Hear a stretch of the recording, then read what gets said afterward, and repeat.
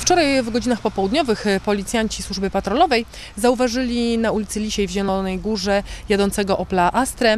E, Tor jazdy pojazdu zwrócił uwagę policjantów. Wskazywało to, że kierowca może być nietrzeźwy. Policjanci zatrzymali go do kontroli. Ich podejrzenia się potwierdziły. Okazało się, że siedzący za kierownicą 35-letni mężczyzna jest nietrzeźwy. Badanie na zawartość alkoholu w organizmie wykazało, że ma 4 promile. Mężczyzna został e, e, w policyjnej izbie zatrzymań.